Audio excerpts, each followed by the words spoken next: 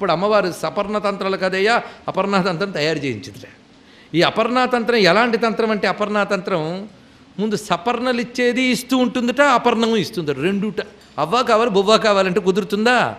కానీ అవ్వ కావాలి బువ్వ కావాలన్న వాళ్ళకి రెండు ఇవ్వగలిగే తంత్రమే శ్రీ విద్య. ఆ రెండు ఇవ్వగలిగే తల్లి లలితాంబ. ఇది తెలుసుకోవాల్సింది ఎవరు కాదండి. అందుకు ఆ తల్లి అఖిల పురుషార్థైక ఘటన అంటున్నారు శంకరుల వారు ఇక్కడ. అఖిల పురుషార్థములు ఇవ్వగలిగితే అంటే ధర్మ అర్థ కామ మోక్షములు నాలుగు ప్రసాదించగలిగేటువంటి అమ్మవారు ఇంకేం కావాలండి? అందుకు అమ్మవారిని ఆశ్రయిస్తే దేనికి లోటు లేదు? ధర్మానికి లోటు లేదు అర్థానికి లోటు లేదు కామానికి లోటు లేదు మోక్షానికి లోటు లేదు. ఎలా చెప్పగలవు? ఇలా చెప్పగలట. చూడండి శ్లోకంలో. విధాత్రి ధర్మాణం త్వమసి సకలాం నాయ జననీ. తల్లి నిన్ను ఆశ్రయించిన వారికి ధర్మ పురుషార్థానికి లోటు ఉండదమ్మా. ఈ వాక్యాన్ని జాగ్రత్తగా వినాలి. అమ్మా నీ వల్ల ధర్మ పురుషార్థం లభిస్తుంది. ఎందుకంటే విధాత్రి ధర్మాణం త్వమసి. సర్వధర్మములకు నువ్వు విధాత్రివి. విధాత్రి అంటే సృష్టికారిణి. అంతేకాదు విధానము ఏర్పరచినది విధాత్రి. విధానం అంటే పద్ధతి. ఇది ఇలా నడవాలి అనే సిస్టమ్ ఈ జగత్తులో ఈ సిస్టమ్స్ అన్ని అమ్మవారు ఏర్పరిచారు. అందుకే ధర్మము యొక్క పద్ధతులు ఏర్పరచిన దానవు నువ్వు. ఎలాగంటే సకలాంనాయ జననీ. సకల వేదములకు తల్లివి గనక. అమ్మవారంటే వేదమాత కదండి? ఛందసాం మాత. సకల వేదములకు తల్లి గనక ధర్మములకు ఆవిడే విధాత్రి. ఈ చెప్పడంలో విశేషం ఏంటి చూడండి ఇక్కడ.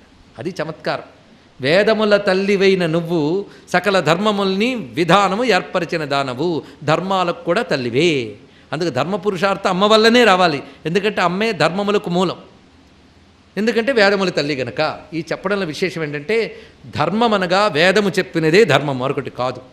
వేదోఖిల ధర్మమూలం. అది ఇక్కడ ప్రతిపాదన. వేదము విధి నిషేధాత్మకంగా ధర్మాన్ని చెప్తోంది. ఇది నువ్వు చెయ్యాలి ఇది నువ్వు చెయ్యకూడదు అని చెప్తోంది. ఎవరికి ఏది విధి ఎవరికి ఏది నిషేధమో వేదం చెప్తోంది. అందుకే జగద్గురువైన కృష్ణ పరమాత్మ ఉద్దేశంలో శాస్త్రం అంటే వేదమేనండి. తస్మాత్ శాస్త్రం ప్రమాణంతే అన్నాడంటే వేదమే ఇంకోటి కాదు. వేదం తప్ప ఇంక గతేముంది మనకి? అందుకు ధర్మము అమ్మే మనకి ఇస్తున్నది. ఎందుకు అంటే వేదాల తల్లి గనక కడుపు చల్లంగా వేదాలి కన్న తల్లి అన్నాడు శ్రీనాథ మహాకవి. అందుకు వేదాల తల్లి ఆ జగదంబ అంటే గాయత్రి ఆవిడ వేదమాత. నాలుగు వేదములు ఆవిడ రూపములే చతుర్వేద స్వరూపిణి. నిజాజ్ఞారూప నిగమ పుణ్యా కనుక వేదముల తల్లి గనక ఆ తల్లిని మనం నమస్కరించుకుంటే ఆవిడే మనకు ధర్మమునిస్తున్నది. ఇది కొంచెం ఆలోచించవలసిన అంశం. ఎందుకంటే ఇప్పుడు చూద్దాం దీని యొక్క గొప్పతనం ఏంటో. రేపటి నుంచి ధర్మంగా ఉంటే బాగుండి అనిపించిందా లేదా? ఉంటామా లేదో పక్కన వదిలేద్దాం. ధర్మంగా ఉంటే బాగుండు అనిపించాలండి. ఒకవైపు ఇంత వాగుతున్నప్పుడు జాలిపడేనా అనిపించాలి. ఆ గంట నుంచి అరుస్తున్నాడు ఉందా ఉందాలే ధర్మంగా అనిపించాలి. కానీ ఇందాక చెప్పినట్టు ఏది ధర్మమో మనకు తెలుసా? శాస్త్రములు అనంతాలండి. ఒక ఆయన వస్తాడు ఇలా చెయ్యిన ఆయన ధర్మము అంటాడు. మరొక ఆయన వస్తాడే అదేం ధర్మం కాదంటాడు. మనకు అయోమయం వస్తుంది. అవునా లేదా అండి? ఇద్దరు శాస్త్రవేత్తలే వచ్చింది బాధ అది. ఇద్దరికి ముందు వెనక టైటిల్స్ ఉన్నాయి. వాళ్ళు పెట్టుకున్నవో ఎవరిచ్చినవో మనకు తెలియవు. కానీ ఉన్నాయి. ఇద్దరికి టైటిల్స్ ఉన్నాయి ఇద్దరు పండితులే. కానీ ఇద్దరు ఒక మాట చెప్పలేదు. ఒకే మాట ఇద్దరు ఒప్పుకుంటే పండితులు ఎలా అవుతారు? అది కూడా ఉన్నది ఇక్కడ. అందుకే ఆయన ఒకటి చెప్తాడు ఈయన ఒకటి చెప్తాడు. మధ్యలో కన్ఫ్యూజన్ ఎవడికి వీడికి. అంతేగాని వాళ్ళిద్దరూ కొట్టుకుంటే సరదా పడ్డం కాదు మనం తరించడానికి కావలసింది కూడా వెతుక్కుంటున్నాం. అప్పుడు మనకు అయోమయం వచ్చిందట. అప్పుడు ఏం చేయాలి?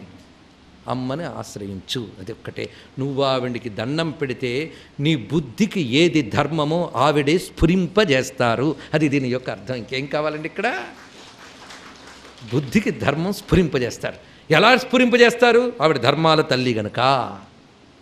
ధర్మాలన్నీ చెప్పే వేదాలకు అమ్మ గనక ఆవిడ వేదమాత గనక వేదమాత అయిన అమ్మ పాదం పట్టుకుంటే నీకేది ధర్మమో అమ్మే చెప్తారు. ఇంకేమైందండి? ఎంత ధైర్యం? అది చూపిస్తున్నారు ఇక్కడ. అందుకే ఎప్పుడు స్ఫురణయే నీకేది తోస్తే అది చేస్తావు నీకేది చెప్తే అది చెయ్యవు. లోకల్లో అవునా కాదా చెప్పండి. లేదండి ఆయన ఏది చెప్తే అదే చేశానండి అంటే ఆయన ఏది చెప్తే అది చెయ్యాలని తోచింది కనుక చేసాం ఇక్కడ కూడా చూడండి ఉన్నది అదే. ఆయన ఏది చెప్తే చెయ్యాలని నీకు తోచిందా లేదా?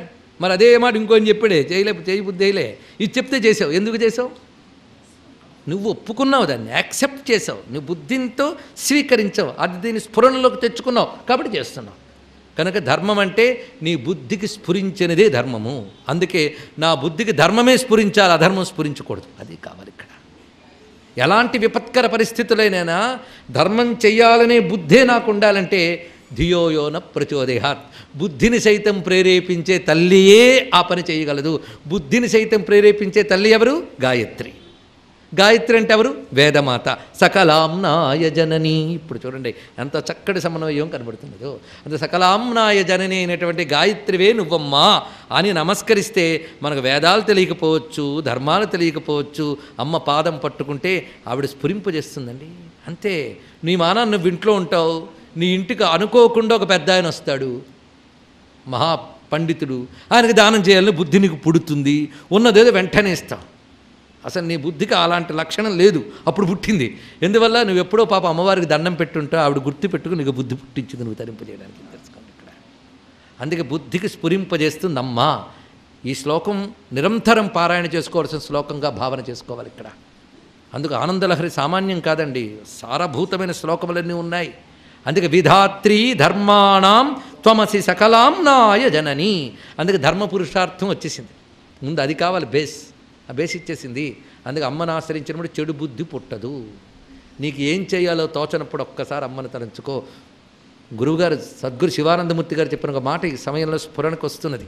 నీకేదో పెద్ద సందేహం కలిగింది. అప్పుడు ఏం చేస్తావు? వాడిని వీడిని అడిగితే మరో పది సందేహాలు కలుగుతాయి. అప్పుడు నువ్వు జగ్ జాగ్రత్తగా మఠం వేసిన అమ్మని తలంచుకుని అమ్మ నామాన్ని నువ్వు జపం చేయడం మొదలైతే ఆవిడ నీకు సమాధానం ఇస్తారు ఇంత గొప్ప మాట సమాధానం. మనస్సుకు సరి అయినటువంటి జవాబు దొరికి కలిగిన శాంతికి సమాధానం అని పేరు. అమ్మ ఇస్తుంది ఆ శక్తి ఉన్నది ఆ తల్లికి. ఇది గ్రహించవలసింది. నిస్సంశయ అంతే ఇంకేం కావాలి? ఆవిడే సంశయగ్ని. ఆ తల్లి అందుకు ఆ మొదటి వాక్యం అంత గొప్పది. ఇక సంపద. సంపద అంటే ఏమిటి? దీనికి పెద్దది. నువ్వు దాచిపెట్టుకున్నది కాదు నీ అవసరానికి పనికొచ్చేది సంపద. ఇది తెలుసుకోవాల్సింది. నీకు ఒక అవసరం పడినప్పుడు నీకేది లభిస్తుందో అది సంపద. అది ముఖ్యమైన అంశం. నీకు ఇంట్లో బీరువా నిండా బట్టలు ఉండొచ్చు. కానీ నువ్వు ఎక్కడో అడవిలో మార్గంలో చిక్కుకుపోయో వర్షంలో తడిసిపోయో ఆ ముళ్ళకంపల్లో తిరిగి బట్టలు చిరిగిపోయే కట్టుకోవడానికి ఒక్క బట్ట లేదు. అప్పుడు నీ ఇంట్లో ఉన్న బట్టలను తలంచుకుని కట్టుకున్న ఫీలింగా? అందుకు నువ్వు కూడబెట్టుకున్నది కాదయ్యా నీ సమయానికి నీకు లభించే అవసరాన్ని తీర్చేదే సంపద. అందుకు అమ్మను ఆశ్రయించిన వాడు ఎంత నిష్పూచిగా ఉంటాడు అంటే తగినది తగిన సమయంలో అమ్మ ఇస్తుంది. అది ఇక్కడ. అందుకు త్వమర్థానాం మూలం. అమ్మా నువ్వు అర్థములన్నిటికీ సంపదలన్నిటికీ మూలము నువ్వే. ఎందుకంటే ఆవిడ పేరే శ్రీమాత. ఆ తల్లిని ఆశ్రయిస్తే కటాక్ష కింకరీభూత కమలాకోటి సేవిత. ఆ తల్లి యొక్క కటాక్షములు మనపై ప్రసరిస్తే అనేక లక్ష్ములు అనగా ఐశ్వర్యములు మనకు కింకరులై కొలుచుకుంటారట. ఇంకేమున్నది? ధనధనమనీయాంఘ్రికమలే. త్వమర్థానాం మూలమని చెప్పినప్పుడు ఎంత ఔచితీమంతమైన సంబోధన చేశారో చూడండి. వేదముల తల్లి నువ్వు ధర్మములకు విధాత్రివి. ఇది మొదటి మాట. రెండవది సంబోధన ధనద నమనీయాంఘ్రి కమలే అంటే ధనదుడు అంటే కుబేరుడండి. కుబేరుడు చేత నమస్కరింపబడుతున్న పాదములు గల తల్లి. ఇది గొప్ప విషయం అండి ఒక ఆయన పాపం దరిద్రంతో బాధపడుతూ రాజుగారి దగ్గరికి వెళ్ళారట రాజు బాగా సంపన్నుడు అని. ఆ వెళ్ళినప్పుడు ఆ రాజు దగ్గర ఉన్నటువంటి వాళ్ళు వచ్చినవాడు చాలా దరిద్రుడైతే అయ్యాడు కానీ గొప్పవాడు. అందుకు కూర్చోండి రాజుగారు వస్తారని చెప్పేట. ఎప్పటికీ రావట్లేదు. ఏమయ్యా? ఇప్పటికీ ఇంకా రావట్లేదు నాకు ఇంట్లో పనులున్నంటే పూజ చేసుకుంటున్నారండి అన్నట్ట. ఎంతసేపు చాలాసేపు అయిందండి ఎందుకు? భగవంతుడిని ఆశ్రయించాడు. ఓహో అంత రాజు నేను ఆశ్రయించాను. ఆ రాజు భగవంతుడిని ఆశ్రయించాడు. నేను భగవంతుడిని ఆశ్రయిస్తాను. వెనక్కి వచ్చేసేటండి. ఇది గొప్ప బుద్ధి. ఏది మనకి? అందుకు సృష్టిలో ఏ డబ్బు రావాలన్నా ఫైనాన్స్ డిపార్ట్మెంట్ నుంచి రావాలి. ఆ డిపార్ట్మెంట్కి హెడ్ ధనద కుబేరుడు. కుబేరుడి పేరు వింటేనే కొందరు ఒళ్ళు పులికించిపోతుందండి. అవునా లేదా? ఆ కుబేరుడు వాడి దగ్గర సర్వసంపదలు ఉన్నాయండి. నిధి దేవతలన్నీ మకర నిధి శంఖనిధి పద్మనిధి వసునిధి ఓ చెప్పలేని నిధులు ఉన్నాయి ఐశ్వర్యములన్నిటికీ అధిపతి. మీకు నాకే కాదు ప్రపంచంలో దేవతలకు ఐశ్వర్యాలు ఇవ్వాలన్నా ఆయనే ఇవ్వగలడు. అలాంటి కుబేరుడు ఏం చేస్తాడో తెలుసా? రోజు వచ్చి తల్లి పాదాలకి దండం పెట్టి నాకు ఈ పొజిషన్ ఇచ్చేవి తల్లి చాలా సంతోషం అని దండం పెట్టి వెళ్తుంటాడు. కుబేరుడు ఏ తల్లి పాదాలకి దండం పెడుతున్నాడో ఆ తల్లిని నమ్ముకుంటే ఇంకా సంపదలకు లోటేమున్నదమ్మా సంపదలకు మూలము నివ్వు ఇది సంబోధన. అందుకే ధనధనమనీయాంఘ్రి కమలే అనే మాట ఎంత గొప్ప విశేషంగా చెప్తున్నాడు. కుబేరుని చేత కూడా నమస్కరింపబడేటటువంటి పాదములు గల తల్లి నువ్వు సంపదలకు మూలము. ఇది అర్థపురుషార్థం చెప్పారు. మూడవది త్వమాధి కామానాం జనని కృతకం దర్ప విజయే నువ్వు త్వమాది కామాన నువ్వు కోరికలంటికి ఆదివమ్మ అన్నారు ఇక్కడ ఎందుకంటే కోరికలకు అమ్మ ఆదిట. మన కోరిక అనగానే కొంతమంది కామము చెడ్డగుణము ఇలాంటి మాట్లాడుతూ ఉంటారు. అందుకే అమ్మ కోరికలకి ఆది అన్నప్పటికీ ఏం చెప్పాలి? కామమునకు ఆది అమ్మట. ఎలా చెప్తాం ఈ మాట? చిన్న విషయం కాదండి.